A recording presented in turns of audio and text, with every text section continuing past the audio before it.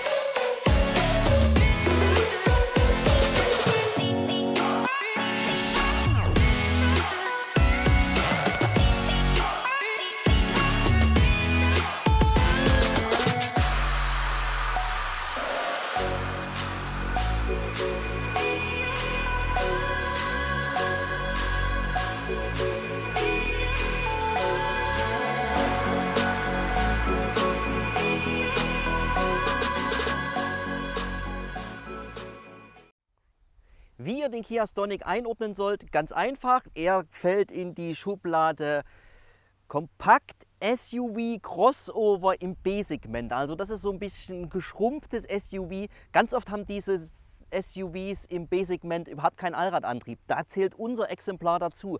Allerdings ist diese, diese urbane SUV-Geschichte, also diese Fahrzeuge, die eigentlich so ein bisschen auf diesen Lifestyle der Großstädte ausgerichtet sind, sehr, sehr verbreitet. Alle Hersteller alle namhaften Hersteller haben so ein Fahrzeug im Programm. Das geht bei Mazda los mit dem XC3. Das geht weiter mit dem Suzuki Vitara. Renault hat diesen Captur. Ähm, Citroën hat den C3 Aircross im Programm. Volkswagen wird als nächstes als Premium-Marke in diesem Segment den VW T-Cross an den Markt bringen.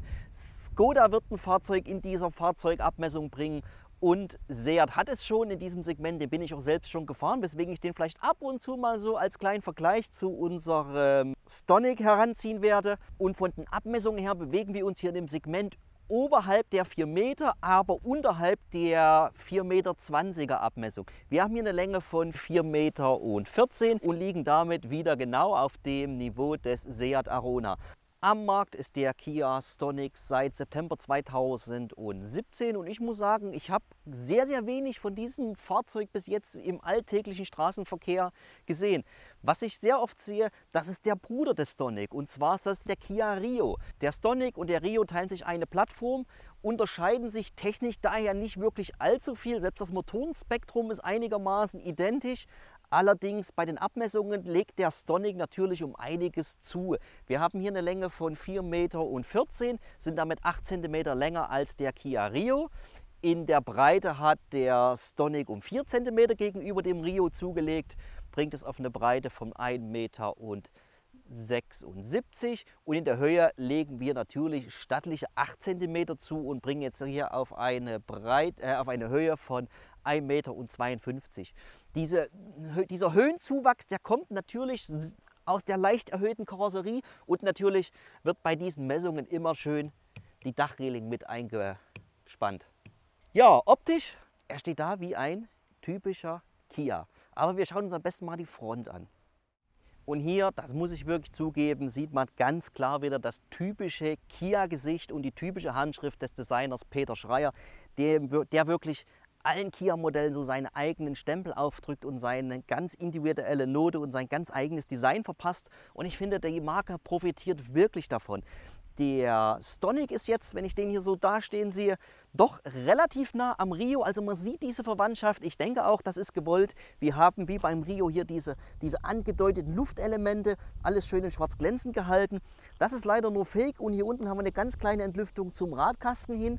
Die breiten Scheinwerfer haben dasselbe Design wie am Kia Rio, was aber auch gar nicht schlimm ist. Im Gegenteil irgendwie so, weil der Rio hat wirklich ein tolles Design. Und das hat man jetzt wirklich hier auf diesen Stonic übertragen und hat ihn halt ein bisschen kerniger, ein bisschen geländetauglicher, ein bisschen kräftiger gemacht. Natürlich haben wir den typischen Kia Kühlergrill, die Tiger Nose mit dieser kleinen Ausbuchtung hier unten. Ist gar nicht mehr so doll, wie das bei den ersten Modellen war oder bei den vorhergehenden Modellen. Man fängt das an so ein bisschen abzusoften, finde ich. Der Kühlergrill ist auch in weiten Flächen geschlossen. Wir haben hier nur so einen ganz kleinen Lufteinlass, der hier noch ein bisschen Luft durchlässt. Alles andere ist zu. Auch mit diesem angedeuteten Aluminium-Look hier, das sieht wirklich alles, finde ich, sehr, sehr hochwertig aus. Auch solche Elemente wie hier nochmal so einen Lufteinlass reinzubringen, der zieht hier nochmal richtig schön in die Breite. Und natürlich dann hier unten diesen Lufteinlass, der dann wirklich den Motor optimal mit Luft versorgt. Dieses Element leider ist wieder geschlossen. Das ist aber auch so dem Luftwiderstand geschuldet, denn man versucht ja wirklich den Luftwiderstand so weit wie es geht runterzudrücken und das ist halt einfach besser, wenn so Flächen einfach geschlossen sind, damit die Luft dann einfach da vorbeiströmt und nicht noch durch den Motor oder durch irgendwelche Ritzen, die da gar nicht nötig sind. Deswegen hat man hier auch so eine Dichtung nochmal angebracht, dass wirklich die Windgeräusche minimiert werden und die Aerodynamik verbessert wird. Wir haben hier einen Luftwiderstand von 0,33, was für diese Klasse wirklich okay ist und eigentlich ganz gut ist.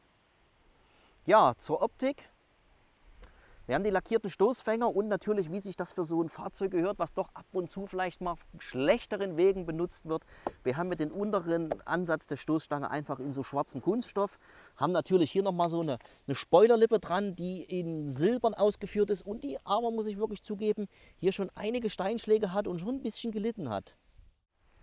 Und die Scheinwerfer selbst finde ich jetzt wirklich auch am Tag sehr, sehr schick. Mir gefällt zum einen diese Form und zum anderen dann auch die Lichtaufteilung. Sie haben wirklich ein cooles Innenleben, cooles Design. Was wir hier haben, wir haben hier ein LED-Tagfahrlicht, wir haben einen ganz normalen Halogenblinker, finde ich auch jetzt in dieser Klasse überhaupt nicht schlimm. Wir haben hier ein Abbiegelicht, wir haben diese Linse, die jetzt aussieht wie eine Xenon-Linse, ist aber nur ganz normale Halogenlampe dahinter, macht aber trotzdem ganz anständiges und ganz gutes Licht. Und wir haben eine Etage tiefer nochmal ganz klassische Nebelscheinwerfer. Lieferbar ist der Stonic in insgesamt vier Ausstattungslinien. Die Basisausstattung, das ist das Ausstattungsmodell Edition 7, würde ich jetzt niemandem unbedingt empfehlen. Auch wenn der Basispreis mit 15.790 Euro erstmal verlockend klingt, aber es ist dann doch wirklich, selbst bei Kia, ein relativ sparsam ausgestattetes Modell. Ganz anders sieht das dann aus, wenn ihr dann eine Etage drüber schaut irgendwie so. Die Modellgeneration oder die Ausstattungslinie darüber, das ist die Ausstattungslinie Vision, die hat schon deutlich mehr zu bieten. Nochmal eine Nummer besser, das ist die Ausstattungslinie Spirit. Mit der, denke ich, werden die meisten echt zufrieden sein und da hast du wirklich schon fast alles. Und wer dem Ganzen dann nochmal eins draufsetzen will, der greift zur Ausstattungslinie, wie wir ihn jetzt hier haben. Das ist die Ausstattungslinie Platinum. Die kostet allerdings dann schon, so wie er jetzt hier steht, mit diesem Rot, die Farbe nennt sich Signalrot Metallic in Kombination mit dem schwarz lackierten Dach. 850 Euro Aufpreis für die Farbe ist nicht ganz wenig, aber trotz alledem haben wir hier dann am Ende einen Listenpreis mit einem wirklich voll ausgestatteten Fahrzeug von 26.440 Euro. Bei den Motoren ein ähnliches Bild. Neben den vier Ausstattungslinien haben wir auch insgesamt vier Motoren zur Auswahl. Los geht es mit einem 1,2 Liter Vierzylinder, 84 PS. Das ist wie die Basisversion. Das ist ganz nett, der ist preiswert, aber ich glaube nicht, dass der wirklich viel Spaß macht. Darüber rangiert ebenfalls ein Benziner, das ist ein 1,4 Liter, der bringt es dann schon auf 99 PS. Das ist so eine Modellvariante, die wir im Kia Rio schon gefahren sind. Aber auch da muss ich sagen, hm, nur bedingt, weil halt einfach diesem Motor die Turboaufladung fehlt. Die bekommt ihr erst ab dem 1 Liter TGI im Kia Stonic, übrigens auch im Rio, leistet dann 122 PS, 172 Newtonmeter ist ein Dreizylindermotor und ich denke, der macht dann schon deutlich mehr Spaß, weil er einfach ein bisschen mehr Drehmoment hat. Richtig viel Drehmoment für diese Fahrzeugklasse, das hat unser Diesel, der hier bei uns im Testwagen verbaut ist. Wir haben hier ein 1,6 Liter Dieselaggregat, ein CRDI mit 16 Ventilen, einer Common Rail Einspritzung und der fährt wirklich gut. Wir haben eine Leistung von 110 PS und maximales Drehmoment von 260 Newtonmeter und kombiniert ist das Ganze mit einem 6-Gang Handschaltgetriebe, was sich wirklich hier auch sehr flott bewegen lässt und das Fahrzeug sehr flott fahren lässt. Wir haben eine Abgasnorm Euro 6 mit einem Partikelfilter. Allerdings haben wir hier kein AdBlue-Nachbehandlungssystem. Also Kia erreicht diese Euro 6 Abgasnorm auch ohne diesen SCR-Katalysator und diese AdBlue-Einspritzung. Hat den großen Vorteil, ihr müsst nicht aller 5, 6, 10 oder 15.000 Kilometer euer AdBlue nachfüllen. Und wie so oft bei meinen Reviews, der obligatorische Blick auf die Lackierungen. Und da fällt mir auf, man hat auch bei Kia gespart, die Innenseite der Motorhaube und der Motorraum selbst ist zwar in Wagenfarbe lackiert, allerdings hört der Klarlack hier schon hinter der Kante auf. Finde ich immer, wie gesagt, ein bisschen schade. Ihr habt es eigentlich in jedem von meinen Geschichten schon gehört. Ich bin eher der Fan von einem ordentlichen, schönen, sauberen Motorraum, weil ich finde, das gehört zu so einem Auto eigentlich auch dazu. Aber so ist es. Da spart man dann halt einfach und da halt kommt auch dieser Preis zustande, der dann hier aufgerufen wird. Und da dieses Crossover-Segment mit diesen kompakten Abmessungen doch wirklich sehr angesagt ist und sehr lifestyleig sein soll, bietet nicht nur Kia, sondern auch alle Hersteller quasi ihre Modelle wirklich in den verschiedensten und wildesten Farbkombinationen an. Ihr könnt den Stonic in insgesamt neun Außenlackierungen bekommen und die wiederum lassen sich mit vier weiteren Farben absetzen. Und zwar in Form von andersfarbigen Spiegeln und das Dach ist dann anders lackiert. Bei uns ist es relativ dezent gehalten in diesem Schwarz, was auch ein sehr cooles Schwarz ist, denn es ist nicht so ein Unischwarz, sondern es ist schwarz Metallic, was wirklich die Ausnahme ist, denn normalerweise ist es einfach so, so ein Standardschwarz meistens, was da drauf geschmissen wird. Sehr schön gelöst ist auch dieser Übergang zwischen dem schwarz lackierten Dach und der Karosserie. Man hat hier nicht das komplette Dach schwarz lackiert, sondern man hat wirklich nur den vorderen Teil schwarz lackiert und hat diesen hinteren Teil einfach noch in Wagenfarbe gelassen. Hier zieht sich jetzt quasi so ein rotes Band über das Fahrzeug und dass man das natürlich natürlich schon im Grunddesign oder im Entwurf berücksichtigt hat. Das zeigt sich hier, denn man hat hier einfach so eine, so eine Sicke gelassen, die dann diese äh, Trennung zwischen den zwei Farbtönen aufnimmt und dann auch wirklich einen schönen sauberen Abschluss generiert. Der geht hier unten drunter weiter. Wenn ihr die Tür öffnet, habt ihr hier so den, die Kante, wo das abgeklebt wurde beim Lackieren. Das greift sich auch alles sehr, sehr hochwertig an. Hier ist es sogar glatt geschliffen, dass ihr nicht mal einen Übergang zwischen diesen Farbschichten merkt. Also das ist wirklich ganz cool gelöst. Ganz cool gelöst und ganz geckig finde ich auch diese, diese Dachreling, die man hier kreiert hat am Stonic. Die ist ab der Ausstattungslinie Vision schon immer serienmäßig an Bord. Nur das Basismodell, das hat die nicht. Und die ist hier relativ breit ausgeführt. Die macht einen recht robusten Eindruck. Allerdings, hier hört sich an nach Aluminium. Aber hier vorne, die vorderen Kanten sind Kunststoff. Hier unten drunter, das ist alles Kunststoff. Hier haben wir Kunststoff. Und das wirklich Witzige ist hier hinten diese Endung. Man hat ihn nicht nach unten gesetzt, wie das üblich der Fall ist, sondern man hat ihn so eine Art kleiner, kleiner Finne offen gelassen. Kein SUV-Look ohne die passenden Radlaufverbreiterungen. Die hat unser Stonic natürlich ebenfalls an Bord. Es ist dasselbe Material, wie auch an der Stoßstange vorne zu finden ist. Und zwar merkt man das ganz gut, dass wir hier doch schon so zwei, drei kleinere Kratzer haben. Das kann natürlich daher rühren, dass es ein Pressetestwagen ist, der dann doch wirklich ordentlich von vielen Kollegen rangenommen wird und auch wirklich dann bis ans Limit gegangen wird. Da wird manchmal nicht so Rücksicht genommen auf das Material. Da denke ich, deswegen haben wir hier schon so ein paar leichte Kratzer.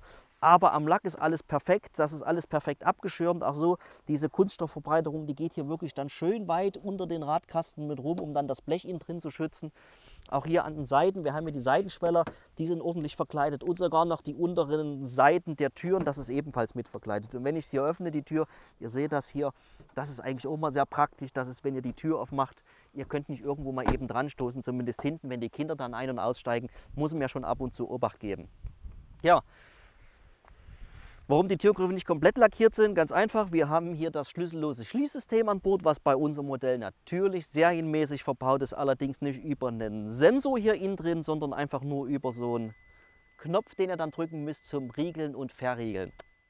Wie nah die Verwandtschaft des Kia Rio mit unserem Stonic ist, das zeigt sich natürlich vor allen Dingen an den Achsen. Wir haben hier den identischen Radstand wie am Rio. Wir haben einen Radstand von 2580 mm und auch die Achskonstruktion entspricht im Grunde der des Kia Rio. Wir haben an der Vorderachse eine ganz klassische McPherson Federbeinachse mit einer Einzelradaufhängung und einem Stabilisator. Alles wie man das kennt, alles wie sich bewährt hat. Und an der Hinterachse ich hatte es euch anfangs schon gesagt, wir haben einen Frontantrieb und keinen Allradantrieb. Trotz des SUV-Looks, es gibt dieses Fahrzeug und ganz viele andere Fahrzeuge in diesem Segment nicht mit einem Allradantrieb. Weswegen wir hinten eine Verbundlenker-Hinterachse verbaut haben mit Schraubenfedern, Die fährt sich wirklich gut. Da kann man nicht meckern. Das ist eigentlich ein ganz bewährtes System, genau wie diese Vorderachse.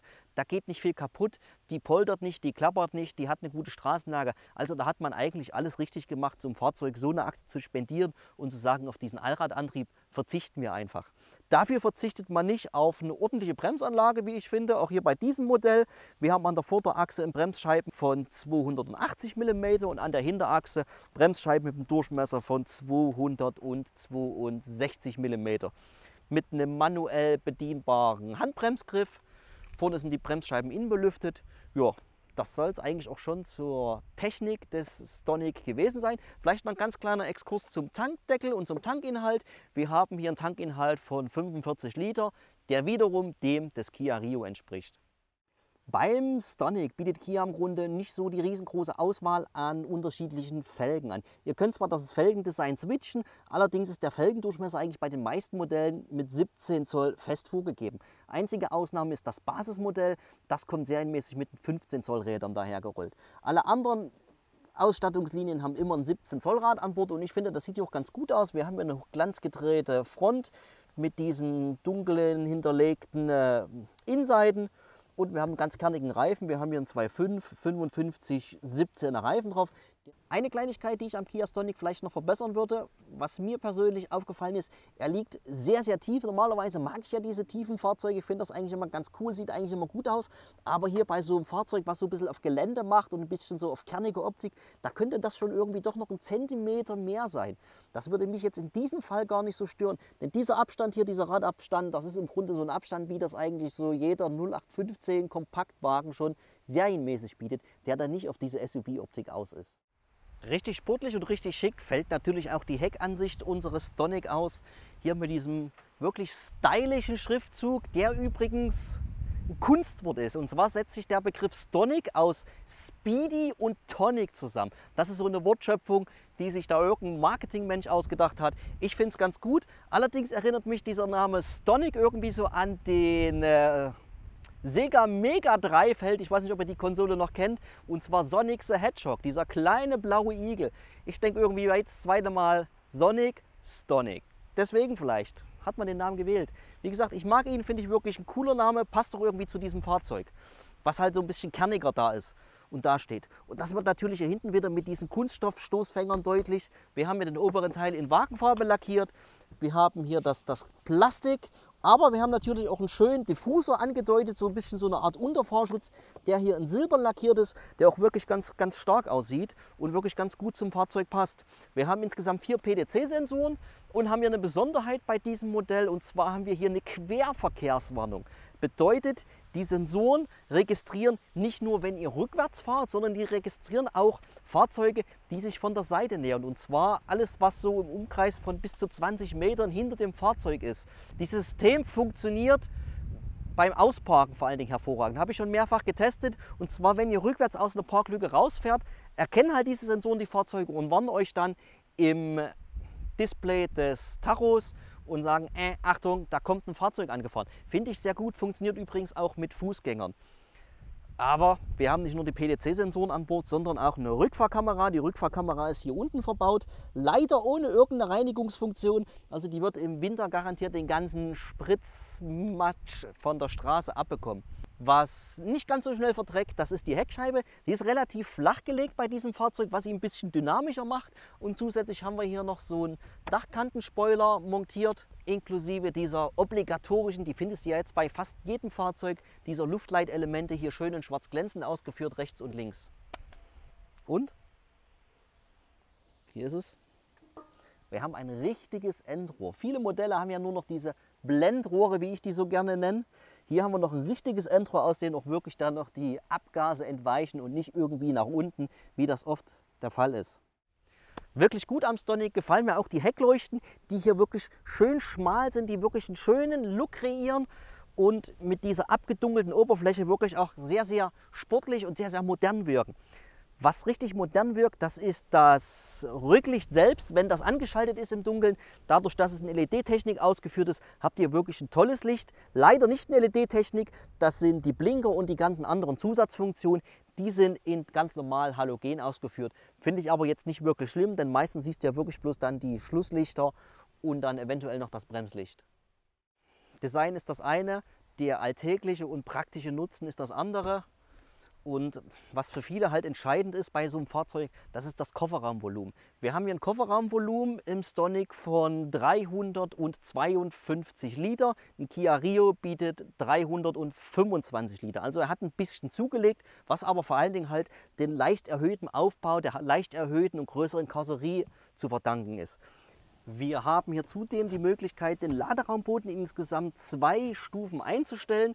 Wir haben jetzt hier die oberste Stufe, die finde ich eigentlich ganz praktisch. Und zwar, wenn ihr was ein- und ausladen wollt, das macht sich eigentlich ziemlich gut. Trotz dieser kleinen Ladekante, das, macht, das funktioniert eigentlich wirklich klasse. Ihr könnt den Ladeboden hier oben an der Hutablage fixieren. Das ist immer ganz praktisch, wenn ihr jetzt hier was unten ein- und ausladen wollt. Finde ich sehr schön. Wenn wir das Ding mal rausnehmen, habt ihr zusätzlich hier unten noch mal so eine Art, ich sage mal Geheimfach. Wir haben hier das Panset, wir haben den Kompressor, wir haben so ein Reifendichtmittel, wir haben ein Teil zum Einschrauben für die Abschleppstange, Abschleppvorrichtung, einen Schraubendreher, das war's. Und aber ihr habt hier rechts und links noch mal ein kleines bisschen Stauraum. Dieses Volumen, dieses Stauvolumen von den 352 Liter bezieht sich allerdings dann immer, solltet ihr wissen, darauf, wenn der Ladeboden auf die tiefste Stelle montiert ist. Wer wirklich mehr Stauraum braucht, der kann die Rückenlehnen ein Drittel zu zwei Drittel umklappen und dann das Kofferraumvolumen auf 1100 Liter ungefähr erweitern. Ein kleines Manko des Gepäckabteils, das ist mal wieder leider der Punkt Lackierung. Und zwar haben wir hier nur so einen ganz leichten Teil, der noch mit Klarlack versehen ist. Alle anderen Flächen hier innen drin sind leider, leider wie der Motorraum einfach nur in, in matt ausgeführt. Also da hat man leider gespart, finde ich wirklich schade. Motorraum könnte ich zur Not noch mit leben, aber hier hinten ist es wirklich so der Fall. Jedes Mal, wenn ich den Kofferraum öffne, sehe ich dieses matte. Wie auch immer, ich denke, wir haben uns jetzt genug mit dem Design des Stonic beschäftigt, zumindest mit dem Exterieur. Wir springen einfach mal in den Innenraum und schauen uns den Innenraum an und gucken mal, wie er sich dort so macht. Willkommen im Innenraum des Kia Rio. Nein, Stonic.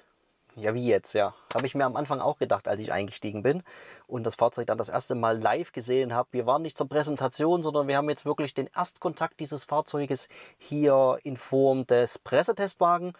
Und da ich im letzten Jahr ja schon den Kia Rio gefahren bin, muss ich sagen, war das echt ein Déjà-vu-Erlebnis, jetzt hier in den Stonic zu steigen. Denn äh, die Optik, das Design, das ist eigentlich alles so, wie ich das vom Kia Rio in Erinnerung habe. Und ich habe mir extra nochmal das Review dazu angeschaut und ich muss sagen, es sind wirklich nur Kleinigkeiten und Nuancen, die so geändert wurden. Das, das wirklich wichtigste oder auffälligste Änderungsmerkmal, das ist hier drüben im Armaturenbrettbereich diese, diese Kunststoffpaneele, die ihr passend zur Exterieurkontrastlackierung dann hier auch bestellen könnt. Aber ansonsten entspricht das alles des Kia Rio. Wer sich jetzt mit dem Rio nicht auskennt, kein Problem. Wir schauen uns trotzdem nochmal so diese Funktionalität und dieses Design dieses Kia Stonic im Detail an. Fangen wir am besten mal an, irgendwie so mit dem Innenhimmel. Der ist wie im Rio, das ist so ein Papphimmel, der aber nicht hinterschäumt ist, sondern einfach nur so mit so, ja, so einer Art Stoff überzogen ist. A-Säule komplett in Kunststoff gehalten. Allgemein ist das Thema Kunststoff hier im Innenraum doch sehr, sehr dominant und sehr stark vertreten. Was mir allerdings wirklich gut gefällt, im Kia Rio habe ich das noch bemängelt, warum auch immer, das ist diese Oberfläche und das, das Armaturenbrett. Es ist nicht geschäumt. Okay, kann ich bei diesem Modell sehr gut verstehen. Es gibt Modelle wie den VW T-Rock, da ist es ebenfalls nicht geschäumt. Da ist ein hartes Kunststoffarmaturenbrett drin, was finde ich von der Optik her viel, viel schlimmer aussieht als das hier, weil das musst du wirklich anfassen, um dann irgendwie festzustellen, hey, es ist ja doch nur harter Kunststoff. Wie gesagt, finde ich jetzt hier nicht so schlimm in diesem Bereich das gleiche Material oder ein ähnliches Material, es fühlt sich ein ganz kleines bisschen anders an, haben wir hier im Bereich der Türverkleidung verbaut, die ebenfalls komplett in Kunststoff ausgeführt sind. Dafür hier eine Etage tiefer haben wir hier so einen ganz leicht geschäumtes oder ganz weichen Kunststoff, der hier im Bereich des Griffes verbaut wurde. Ja, ansonsten eine Etage tiefer, weil wir schon mal beim schwarzen Kunststoff bleiben. Ebenfalls harter schwarzer Kunststoff, genauso wie das Handschuhfach. Aber das ist ja meistens gang und gäbe. Dafür wirklich cool gemacht und wirklich schick. Dieses komplette mittlere Band hier, was sich hier durchzieht. Ich hatte es gerade schon angesprochen, ihr könnt diese Elemente hier in unterschiedlichen Farben kombinieren. Ihr könnt, glaube ich, ein Grün bekommen. Ihr bekommt hier in unserem Platino-Modell ist es immer in Grau ausgeführt. Das ist halt so ein bisschen edler, ein bisschen dezenter. Und ich glaube, ein Orange kriegt ihr noch. Da könnt ihr dann quasi so das Interieur dann entsprechend mit eurem Exterieur, mit eurer Dachlackierung, mit euren Spiegellackierungen abstimmen. Was halt immer verbaut ist, das ist hier dieser mittlere Bereich, der hier in schwarz glänzend ausgeführt ist. Das sieht auch wirklich alles sehr, sehr gut aus. Das, das fühlt sich alles sehr, sehr hochwertig an. Das Lüftungsdüsendesign, das ist das, wie wir das aus dem Rio kennen. Ich finde es nach wie vor ein bisschen angestaubt von der Optik her. Hätte ich mir irgendwas was moderneres, was, was peppigeres gewünscht irgendwie so. Das ist jetzt irgendwie so Style 1985. Gut, ist aber so. Dafür diese Aluminiumleiste hier, es ist natürlich Kunststoff, aber es ist wirklich so in so einem Aluminium-Effekt lackiert. Gefällt mir wirklich sehr gut. Das, das, das macht sich ganz nett. Und wenn wir einmal hier schon dabei sind, wir haben hier ein wirklich starkes und wirklich optisch ansprechendes Infotainment-System verbaut. Alle Kia Stonic haben diesen so eine Art angedeuteten freistehenden Monitor mit einem 7 äh, Zoll Display. Das Navigationsupgrade bekommt ihr je nach Ausstattungslinie dann immer dazu geliefert oder ihr müsst es halt dazu bestellen. Ich würde äh, aber dazu tendieren, dann lieber die Ausstattungslinie da höher zu wählen, weil dann dieses Navigationssystem A, kostet es nicht wirklich so viel Aufpreis dann in der besseren Ausstellungslinie und es kommt nicht nur das Navigationssystem, sondern es kommen noch andere Feature zusätzlich hinzu. In unserer Version, da geht nicht mehr, da ist wirklich alles dann drin, was verbaut wurde. Ich versuche jetzt einfach mal die Zündung anzumachen. Ja, das geht sogar, zumindest teilweise. Jedenfalls ist das Navigationssystem aktiviert. Wir können es uns mal angucken und wir haben hier diesen 7 Zoll Monitor, der sich auch wirklich gut ablesen lässt, auch beim Fahren sehr gut ablesen lässt. Was mir ein bisschen missfällt, was ich nicht ganz so doll mag, das ist dieser, dieser Navigationsscreen, dass ich das erst bestätigen muss, hier ständig hier diese, diese ganzen Tippfunktionen. Das finde ich nicht ganz so toll, das ist ein bisschen nervig auf Dauer. Was mir sehr gut gefällt an diesem System, es ist ein relativ einfaches System. Es ist jetzt nicht so ein ausgefuchstes, nicht so ein ausgeklügeltes System, wie das manch andere Hersteller anbieten. Aber es kann im Grunde alles das, was so ein Navigationssystem was so ein Navigationssystem können muss. Wir haben DAB-Empfang im Radio, wir haben den normalen FM-Empfang. Ihr könnt euch dann eure Listen anzeigen lassen mit euren Radiosendern. Ihr könnt das alles schön durchskippen. Das funktioniert alles wirklich tadellos. Wir haben die Möglichkeit, eure Favoriten zu speichern. Also das kann wirklich schon das Wichtigste, die ganzen Basics kann das System. Der Radioempfang ist sehr gut, auch der DAB-Empfang ist sehr gut. Ich habe teilweise Testwagen hier, da, da, hast du zwischendrin immer so Aussetzer. Da fährst du und dann ist einfach der Empfang kurz weg, irgendwie für zwei Sekunden, bis das System sich irgendwie neu kalibriert, neu berechnet. Ich kann es euch nicht sagen, finde ich auf Dauer ein bisschen anstrengend was der Kia aber gar nicht macht, das funktioniert alles klasse. Dann haben wir hier unter Medien, ich gehe da nochmal eben drauf, dann habt ihr unter Medien dann eure die Möglichkeit, äh, verschiedene Endgeräte zu installieren. Also ihr könnt euer Radio via USB speisen. Wir haben die Möglichkeit über einen AUX-Anschluss das Radio zu bedienen oder besser gesagt zu speisen mit euren Musiktiteln, die ihr haben möchtet. Oder ihr macht das ganz klassisch über Bluetooth Audio, denn auch das kann hier das im Stonic verbaute System. Ein ganz wichtiger Punkt natürlich, das ist die Navigationseingabe. Die funktioniert auch wirklich alles, alles super. Da braucht man sich jetzt keine Gedanken machen. Da brauchst du keine Bedienungsanleitung lesen. Das kann eigentlich jeder, das kriegt jeder hin. Ihr könnt euch eure aktuellen Koordinaten anschauen. Ihr könnt euch eure letzten Adressen anzeigen lassen oder eine neue Adresse eingeben. Das ist alles, alles super. Ganz nett finde ich auch diese Übersicht. Und zwar ist es so ein geteilter Splitscreen. Das ist so eine Art wie dieser Homescreen. Ihr habt links die Navigationsinformationen und habt dann rechts so eine Art Schnellmenü. Ihr habt euren Radiosender nochmal und könnt dann halt über alle Menüs dann einfach nochmal so in euer komplettes Menü reinskippen. Und was wir natürlich auch sehr mäßig an Bord haben, wir haben eine Freisprecheinrichtung an Bord, die ist in allen Stonic serienmäßig. Was ebenfalls serienmäßig an Bord ist, das ist die Möglichkeit, dass ihr euer Handy via Bluetooth Audio und Android CarPlay verbinden können. Das geht bei allen Kia Stonic, egal welche Ausstattung, funktioniert das immer. Und wer jetzt kein Apple-Betriebssystem oder kein Apple-Handy hat, der kann das natürlich auch mit Android Auto nutzen. Also diese zwei Funktionen sind immer gegeben. Ja, so viel erstmal zur Navigationseinheit. Wie gesagt, 7 Zoll Monitor lässt sich alles gut ablesen, lässt sich ganz gut bedienen. Auch vom, vom Zoom her, wenn ihr hier zoomen wollt, das finde ich immer ganz praktisch, wenn hier die Drehknöpfe noch da sind und nicht nur diese, diese Skip-Gesten da, wie man das vom, vom Handy gewöhnt ist oder vom Tablet. Gut, okay, so viel dazu. Eine Etage tiefer haben wir hier nochmal so eine Art Kontrollleiste eingelassen. Und zwar haben wir hier die Anzeige der Gurterkennung, die, der Gurtschlosserkennung für die hintere Sitzbank, für alle drei sogar. Also selbst wenn in der Mitte jemand sitzt, wird das erkannt. Wir haben und die Gurtelschlusserkennung für den Beifahrersitz. Daneben haben wir den Warnblinkschalter und hier nochmal die Türverriegelung, diese, diese Autolock-Funktion. Noch ein Stückchen tiefer das Klimabedienteil. Finde ich nach wie vor, fand ich im äh, Rio schon super. Gefällt mir hier auch super. Es ist eine Einzonen-Klimaanlage, also ihr könnt wirklich nur den kompletten Innenraum neu temperieren, finde ich aber auch nicht wirklich wilde, stört mich jetzt hier gar nicht in diesem Fall. Wir haben auf der linken Seite die Möglichkeit, die Temperatur zu regeln und rechts habt ihr die Möglichkeit, die Lüftung zu regeln. Wir können hier über die Autotaste halt dann alles komplett automatisch einstellen, über die AC-Taste halt Klimaanlage manuell aktivieren oder deaktivieren. Wir haben hier den Schalter für die Frontscheibenheizung. Wir können die Klimaanlage komplett ausmachen, dass dann wirklich alles tut. Hier habt ihr nochmal dann die Möglichkeit durchzuskippen, ob ihr das auf die Scheibe haben wollt, ob ihr das in Gesichtshöhe haben wollt oder halt auf die Füße. Und dann haben wir hier nochmal die Umlufttaste. Und ganz hier unten rechts ist die Taste für die Heckscheibenheizung. Was mir aber hier aufgefallen ist bei diesem Display, beim Rio hatte ich es noch bemängelt. Und zwar ist diese Anzeige hier im Rio relativ milchig gewesen, als ob irgendwie noch eine Schutzfolie drauf war. Das ist jetzt hier komplett anders. Die ist hier wirklich richtig schön klar. Die sieht wirklich gut aus. So habe ich mir das beim Rio 8 gewünscht. Keine Ahnung, was da der Fall war. Vielleicht war irgendwie so ein Fehler drin oder ich kann es euch nicht sagen, was da los war. Unterhalb der Klimatronik-Bedienung haben wir hier nochmal ein Ablagefach, was mir persönlich sehr gut gefällt, weil das ist so das typische Handyfach. Ihr könnt euer Smartphone einfach hier hinlegen. Es klappert nichts anderes darüber, nichts anderes hin.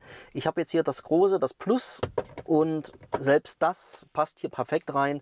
Das liegt hier ordentlich. Was es leider nicht kann, dieses Fach, das ist das induktive Laden. Also wenn ihr euer Handy laden wollt, ihr müsst es dann über den USB und über den normalen Lightning-Anstecker oder was auch immer ihr habt oder Micro-USB müsst ihr euer Telefon laden. Induktives Laden ist hier nicht möglich. Dafür hier unten ein Stückchen tiefer nochmal der AUX-Anschluss und der USB-Anschluss und hier daneben haben wir nochmal den klassischen Zigarettenanzünder. Könnt ihr mit 12 Volt und insgesamt 180 Watt belasten, diesen Anschluss. Noch ein Stückchen tiefer. Das Krimskramsfach, sage ich mal. So, das machen wir mal aus. Ähm, so ein kleines Ablagefach, was sehr gut zugänglich ist. Allerdings, ich denke, man hört es schon, es ist nur so ein, so ein harter Kunststoff innen drin. Da hätte ich mir eine kleine Gummierung gewünscht, dass jetzt zum Beispiel der Schlüssel nicht hier ständig beim Fahren hin und her klappert. Finde ich jetzt nicht so toll. Wir haben das schlüssellose Schließsystem an Bord. Der Schlüssel sieht auch wirklich gut aus, finde ich, vom Style her mit diesen Aluminiumtasten. Auch hier an der Seite nochmal so ein bisschen Aluminium dran. Der sieht wirklich gut aus. Nur leider finde ich hier keine richtige Position, wo ich den Schlüssel irgendwo reinstecken könnte oder mit einem Magneten den irgendwie festmachen könnte. Entweder lasse ich ihn in der Hosentasche oder ich muss ihn halt hier vorne reinschmeißen und er rutscht dann hin und her und klappert da wir einmal beim Schlüssel sind und es passt auch irgendwie so alles zusammen. Der Startknopf, ich habe ihn jetzt schon zweimal bedient, der ist hier installiert. Der lässt sich auch sehr gut bedienen, kommst du auch eigentlich klasse ran. Das klassische Lenkrad-Zündschloss, das ist hier gar nicht mehr. Nicht mal mehr die Vorrichtung dafür vorgesehen. Aber wir waren hier bei der Mittelkonsole, bleiben bei der Mittelkonsole und arbeiten uns mal nach hinten durch. Wir haben hier nochmal vier Zusatzschalter. Wir haben die Sitzheizung Fahrer, Sitzheizung Beifahrersitz und die lässt sich dann insgesamt drei Stufen einstellen, je nachdem wie ihr das haben wollt. Daneben haben wir die Lenkradheizung, die ist bei unserem Modell und ich glaube ab der Ausstattungslinie Spirit ist die schon immer serienmäßig an Bord und das ist ja so ein Kia-Erkennungsmerkmal. Ihr bekommt die Lenkradheizung wirklich in jedem aktuellen Kia-Modell vom äh, Picanto angefangen bis hin zum Kia Stinger ist die immer dabei. Ja und der dritte und letzte Knopf hier auf dieser Reihe, das ist die Aktivierung und Deaktivierung des Start-Stopp-Systems. Schalthebel ich hatte es schon gesagt vorhin, als wir den Motorraum besprochen haben. Wir haben Sechsganggetriebe und der Schalthebel, der liegt auch wirklich ganz gut in der Hand. Die Rückwärtsgangarretierung ist hier so, wie man das von anderen Modellen kennt, einfach hochziehen und dann einen Rückwärtsgang einlegen. Die Mittelkonsole selbst ist wie hier oben dieser Rahmen schön in diesem schwarz glänzenden Kunststoff gehalten. Das sieht wirklich sehr, sehr hochwertig aus, gefällt mir persönlich ganz gut. Was ich auch gut leiden mag, das ist nach wie vor die manuelle und mechanische Handbremse elektrische Parkbremse gibt es hier im Kia leider, muss ich sagen, noch nicht. Aber so diese ganz klassische ist jetzt auch nicht so schlecht. Daneben angesiedelt zwei Getränkehalter. Hier kriegt ihr, na, denke ich, so eine 0,5 Liter ganz Flasche ganz bequem rein. Dahinter das Fach ist ein kleines bisschen größer. Das war es dann aber auch schon. Das ist auch alles in Kunststoff ausgeführt, genau wie diese, die restliche, der, wie, genau wie der restliche Teil der Mittelkonsole. Ist aber alles nicht schlimm, weil es wirklich alles recht hochwertig aussieht. Und nochmal ganz dahinter haben wir hier eine Mittelarmlehne mit der Möglichkeit nochmal da unten drunter was zu verstauen. Das ist leider auch nicht beleuchtet. Dafür habt ihr aber wirklich eine ganz praktische Armauflage. Ihr könnt euren Arm ganz gut parken und könnt dann auch, wenn ihr schaltet, ganz bequem den Arm hier drauf lassen. Sie lässt sich ein Stückchen in der Länge verschieben, allerdings nicht in der Höhe. Die Höhe ist immer fest vorgegeben, also entweder auf oder zu. Gut, okay, so viel zu diesem Thema. Auf der linken Seite haben wir hier nochmal eine Lüftungsdüse, genau wie hier drüben, die ihr auch öffnen und schließen könnt. Die ist auch nochmal in so einem schwarz glänzenden Rahmen hinterlegt. Das macht sich ganz nett. Und darunter eine Etage tiefer haben wir nochmal eine ganze Reihe von zusätzlichen Schaltern, die hier für unseren Kia Stonic wirklich wichtig sind. Ja, und hier haben wir noch so eine kleine Armada Schalter und zwar haben wir hier unterhalb der Lüftungsdüse den Schalter für die Leuchtweitenregulierung. Wir haben hier einen VIP-Schalter für die Instrumentenbeleuchtung und hier daneben haben wir die ganzen Schalter. Diese vier sind für das für die Fahrassistenzsysteme zuständig. Wir haben zum einen die Möglichkeit, den Totwinkelwarner hier zu deaktivieren und aktivieren. Den Spurwarner können wir hier aktivieren, deaktivieren. Ihr habt hier eure Reifendruckkontrollanzeige und ihr habt da die Taste für das ESP zum Deaktivieren oder Aktivieren. Stückchen weiter hier hinten haben wir die, die klassischen Schalter für die Fensterheberbedienung. Wir haben hier vorne erstmal den Schalter zum Spiegel anklappen.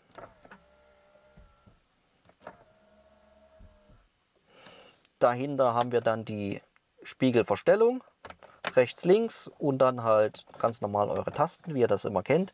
Wir haben die Möglichkeit, die hinteren Fensterheber hier über diese Taste zu deaktivieren.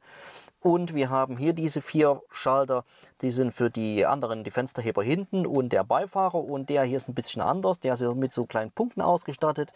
Das ist der für die Fahrerseite. Das ist auch der einzige Fensterheber, der einen Automatiklauf hat. Alle anderen Fensterheber müsst ihr dann wirklich manuell bedienen und halten. Der Fahrer, das Fahrerfenster fährt alleine runter und fährt alleine wieder hoch. Das ist der Automatiklauf. Ja, und in der Tür selbst, ich mache noch mal kurz auf, habt ihr die Möglichkeit, hier eine Flasche reinzustellen. Hier passt so eine 0,5 Liter, vielleicht passt auch eine Literflasche rein. Das war's dann. Und hier hinten haben wir auch noch mal ein ganz kleines Ablagefach.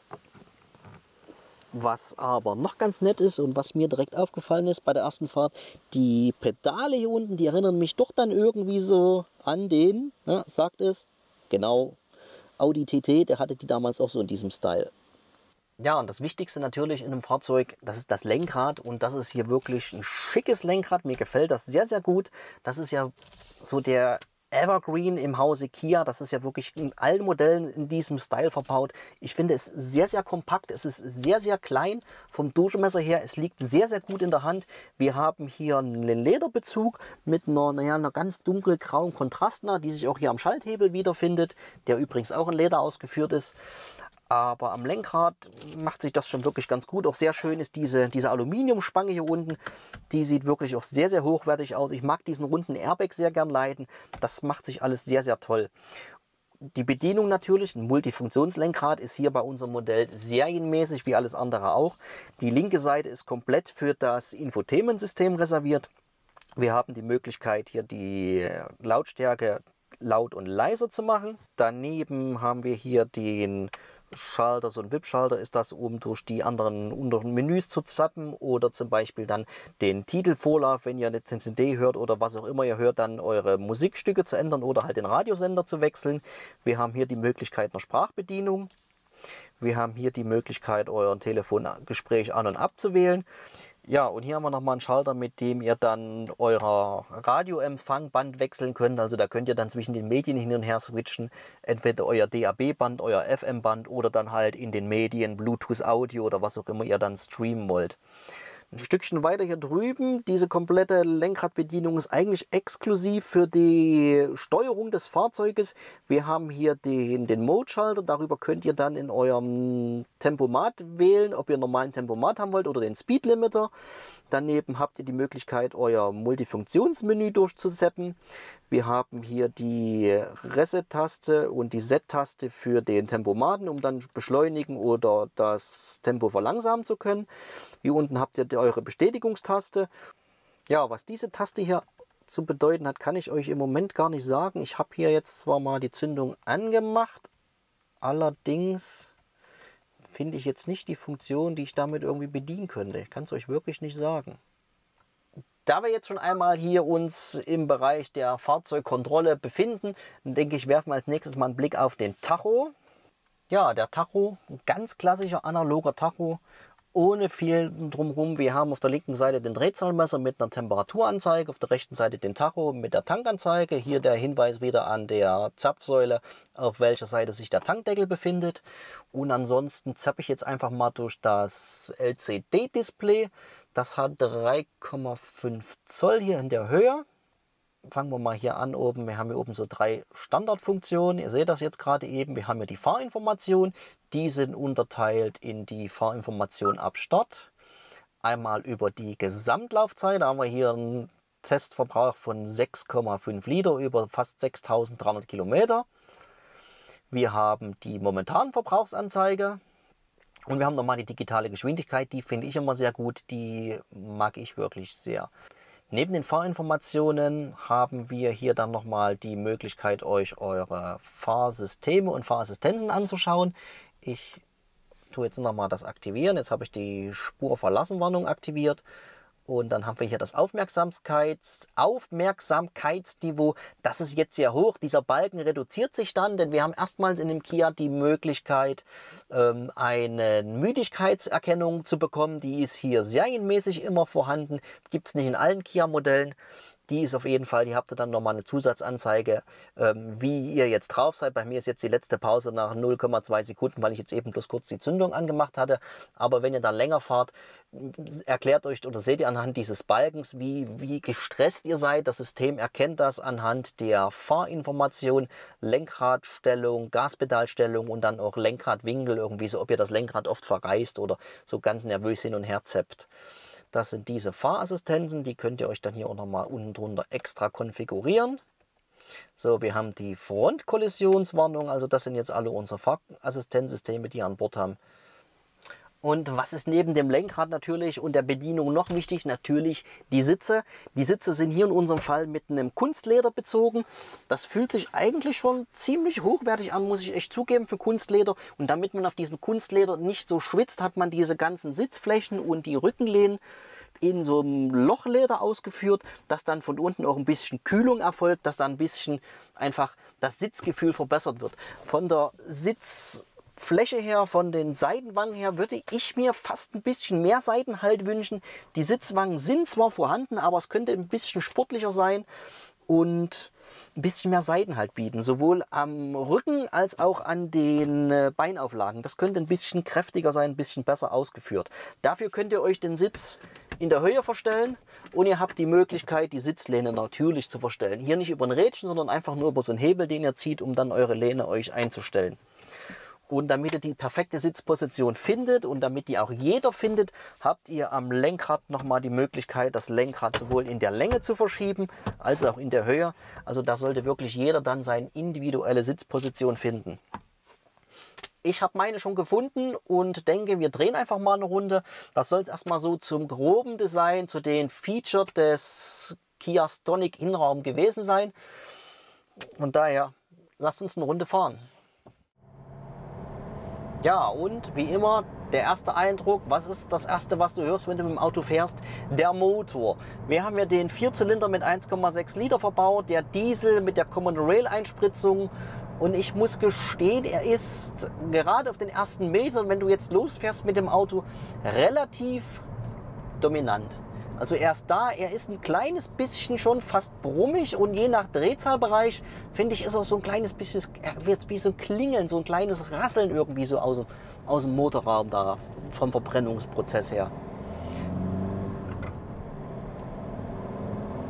Ich hoffe, man kann das hören.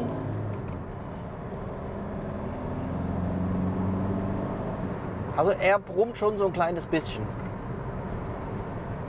Das ist aber so das Einzige an Akustik, was ich jetzt am Motor bemängeln möchte oder bemängeln würde.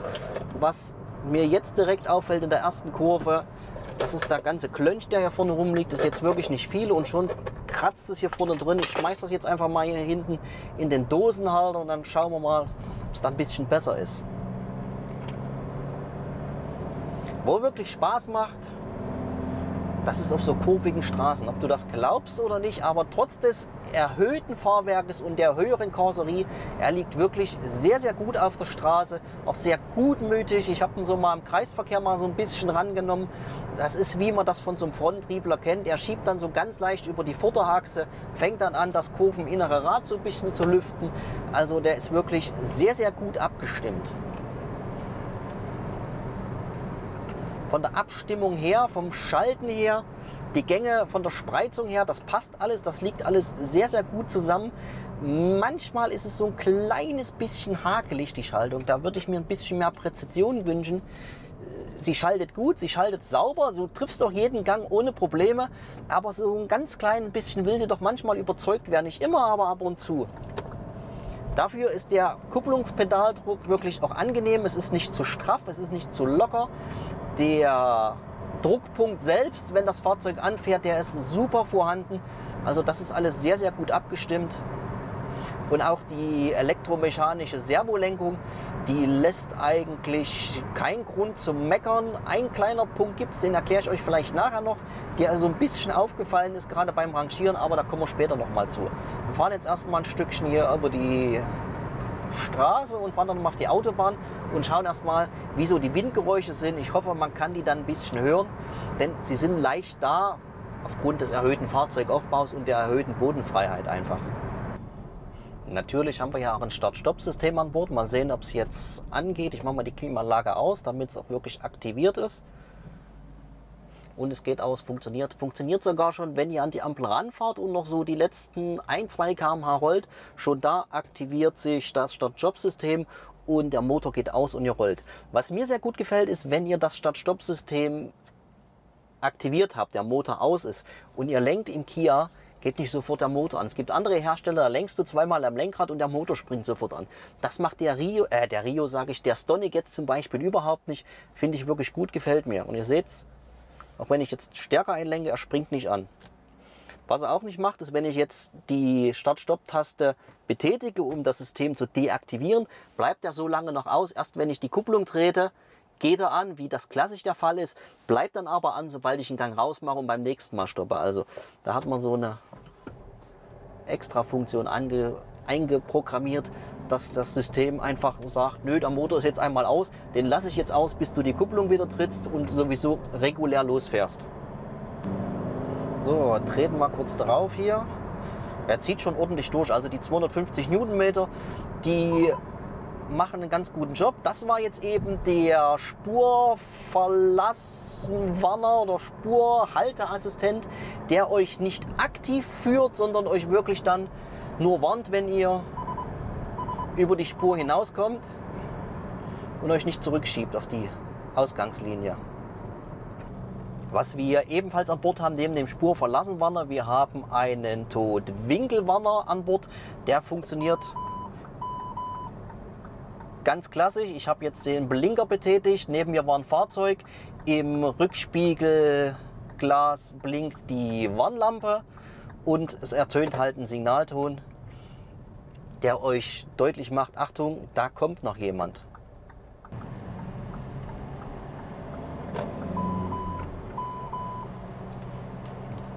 Da war wieder die Warnung einmal kurz über die Linie gefahren und äh, er bringt dieses Warnsignal. Muss ich ehrlich gesagt zugeben, ist echt im Stadtverkehr schon sehr, sehr anstrengend. Ich habe es auch wirklich ausgemacht. Ich bin eigentlich echt ein Fan von diesem Spurhalteassistenten, wobei man zugeben muss oder wirklich sagen muss, ernsthaft, es ist kein Spurhalteassistent, es ist wirklich nur eine Warnung.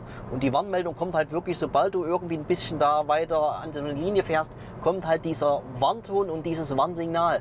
Währenddem ein echter Spurhalteassistent ja dich dann mit einem aktiven Lenkeingriff wieder zurück auf deine Spur führt. Warum man das hier jetzt nicht realisiert hat, ich kann es euch ehrlich gesagt nicht sagen. Ich finde es sehr, sehr schade. Ich finde es eine vergebene Chance, denn das Fahrzeug selbst hat eigentlich alles, was du dafür brauchst, um so einen aktiven Spurhalteassistenten zu realisieren. Wir haben äh, eine elektromechanische Servolenkung, die Voraussetzung für so ein System ist, weil anders geht es nun mal nicht, dass das mit einem hydraulischen, mit so einem klassischen äh, Servopumpengerät einer klassischen hydraulischen Servolenkung funktioniert das nicht sondern du brauchst die elektrische Lenkung, die haben wir und wir haben zusätzlich oben hinter der Frontscheibe die Kamera verbaut, die in diesem Fall ja die Spur schon erkennt, euch halt aber nur warnt, wenn ihr das verlasst. Warum man das nicht einfach kombiniert und sagt, man nutzt noch diesen Gegenlenkeffekt, ich weiß es nicht. Tut mir leid. Die Kamera hat allerdings oben noch eine andere Funktion und zwar haben wir hier im Stonic ebenfalls einen Fernlichtassistenten. Der funktioniert ganz klassisch, wenn ihr euer Lichtschalter in Position Auto habt, könnt ihr euer Fernlicht quasi nonstop aktiviert lassen und das System erkennt vorausfahrende Fahrzeuge und deaktiviert dann den äh, also deaktiviert dann das Fernlicht entsprechend, um dann halt den Gegenverkehr oder halt die Fahrzeuge vor euch nicht zu blenden. Ja, wir sind jetzt auf der Autobahn im Tachometer. Ihr seht es jetzt oben in der Ecke, der Hinweis in den sechsten Gang zu schalten. Das mache ich jetzt einfach mal nicht. Ich trete jetzt einfach mal drauf und beschleunige mal ein bisschen.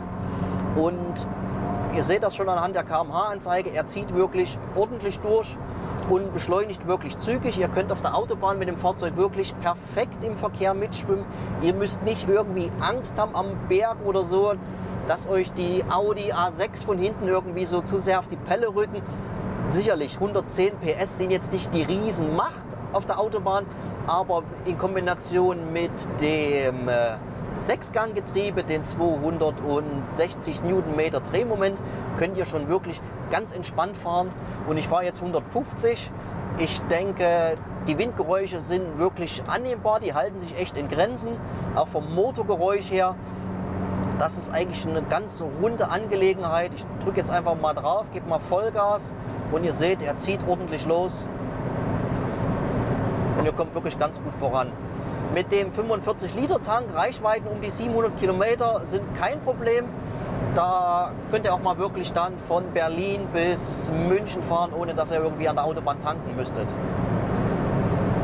So, und jetzt fahren wir 170 und Windgeräusche sind da. Ich muss schon ein bisschen lauter sprechen, aber es ist immer noch okay und du kannst wirklich ganz entspannt fahren, auch von der Lenkung her.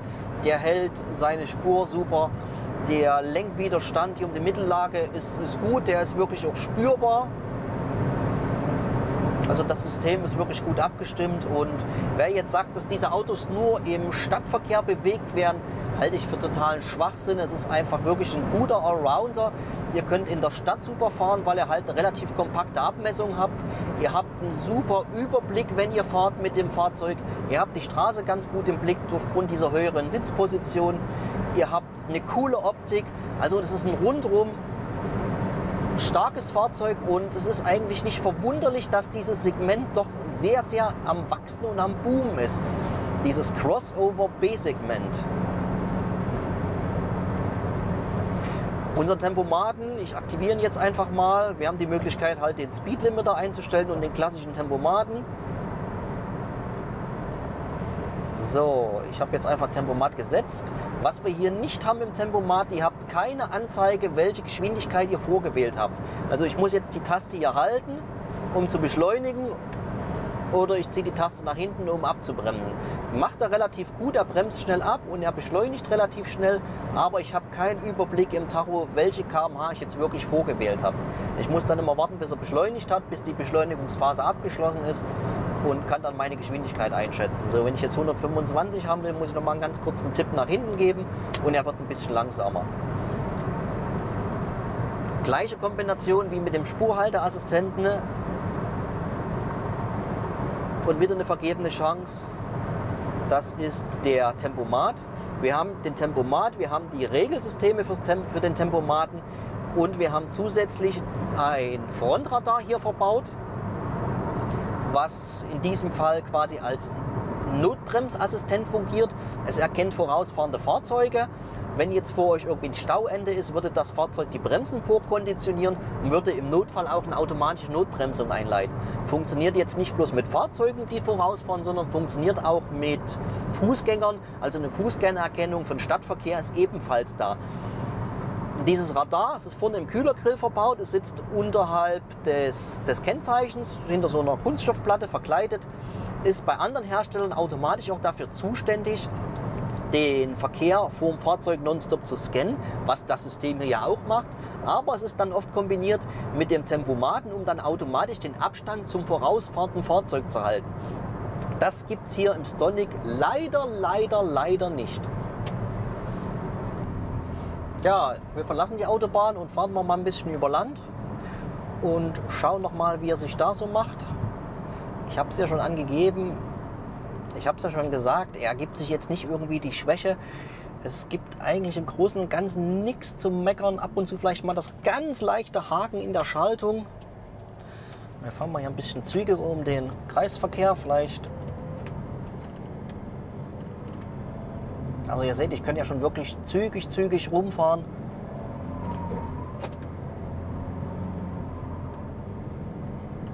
Und er ist wirklich sehr, sehr neutral abgestimmt.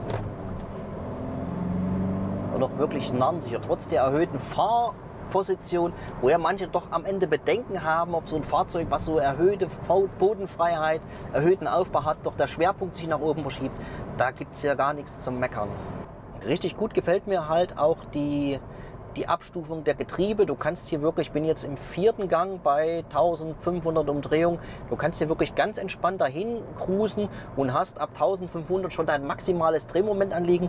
Und wenn du dann Gas gibst, er zieht dann direkt ordentlich los. Du kannst aber auch dann direkt von dem vierten Gang in den sechsten schalten und kannst dann ganz entspannt weiter cruisen. Also die Diesel haben wirklich dann schon diesen, diesen Drehmomentvorteil das ist so der Grund, warum ich euch jetzt nicht unbedingt zu diesem 1,2 Liter Benziner und dem 1,4 Liter Benziner raten würde, weil das einfach Saugmotoren sind, die in der heutigen Zeit eigentlich überholt sind.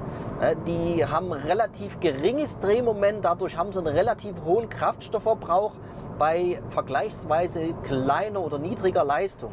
Also wenn ihr euch wirklich für so ein Fahrzeug interessiert, ob das jetzt der Stonic ist oder der Rio, greift zu diesem TGI-Motor oder hier zu unserem CDRI, ne CRDI. Ihr werdet am Ende, denke ich, doch mehr Spaß mit dem Fahrzeug haben und es am Ende doch mehr leiden. Und wenn wir jetzt so durch die Ortschaften dahin rollen, die Sitzposition ist wirklich gut, die Übersichtlichkeit ist eigentlich auch nicht schlecht.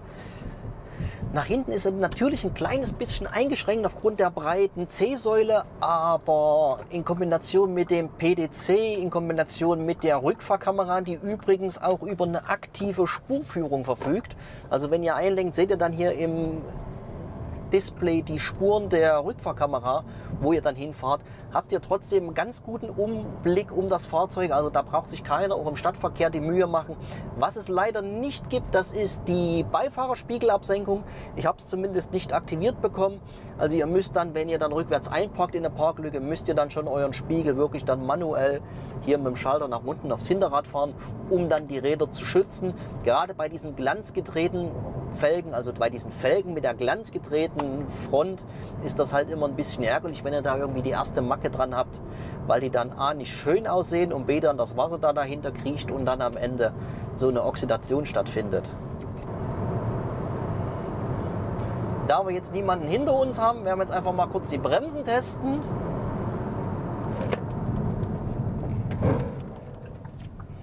Kam relativ hart das ABS. Die Warnblinkanlage geht kurz an. Aber er verzögert ordentlich. Ich habe jetzt auch schon ein paar Mal kräftiger gebremst, auch kurz hintereinander. In Sachen Bremspedaldruck, der Bremspunkt steht eigentlich, da verschiebt sich nichts. Der ist eigentlich immer ganz gut da. So, dann machen wir mal einen zweiten Bremsversuch von 100 auf 0.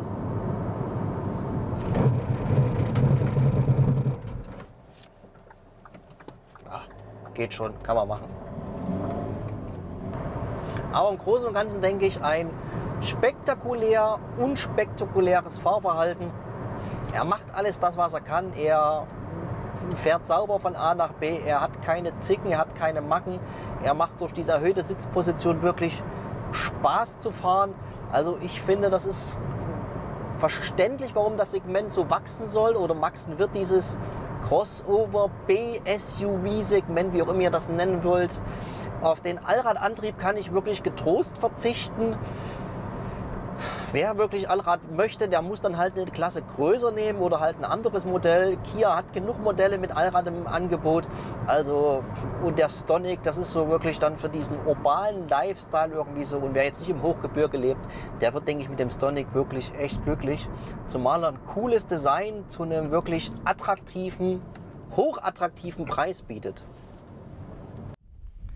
Das soll er gewesen sein. Unser Fahrbericht, unser Review zum neuen Kia Stonic. Wenn euch das Video gefallen hat, wenn euch der Stonic gefallen hat, gebt dem Video einen Daumen nach oben, abonniert unseren Kanal und schaltet wieder ein zur nächsten Ausgabe VMAX TV. Ich sage Dankeschön fürs Zuschauen, danke fürs Durchhalten und ciao bis zum nächsten Mal.